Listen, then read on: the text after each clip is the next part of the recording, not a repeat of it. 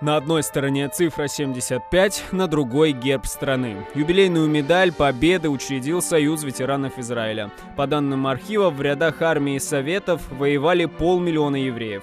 Награду вручают по всему миру. Медаль привезли и в наше село Гиска Анатолию Фридману. Есть такое, знаете, э, выражение «награда нашла своего героя». Прошло 75 лет со дня окончания Великой Отечественной войны, и мы хотим вручить вам медаль, которую учредили тем людям, которые принимали участие в освободительной армии для того, чтобы была победа. Анатолий Фридман на фронте не был, когда началась Великая Отечественная, ему было 10, и он работал в тылу на оборонном заводе. С тех пор прошло много лет, но войну вспоминает часто.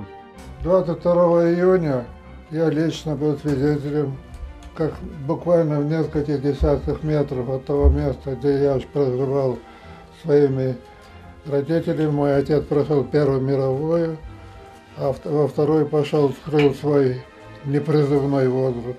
И мы бежали, пожар был. Кто куда бежал, не знаю. Мы схватили там пол, два по полмешка э, ерунды всякой. И так на подводах добирались. Поздравить Анатолия Моисеевича приехали представители Бендерской еврейской общины и еврейского собрания из Молдовы. Юбилейные медали из Израиля вручили еще двум бендерским ветеранам. Одну посмертно.